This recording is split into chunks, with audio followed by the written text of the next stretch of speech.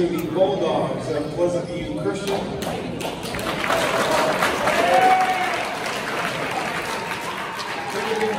on the scoreboard, and the Columbus Hawks will be the home team on the scoreboard. Let's see the starters. First for Bulldogs, number number one, Elmer Neff.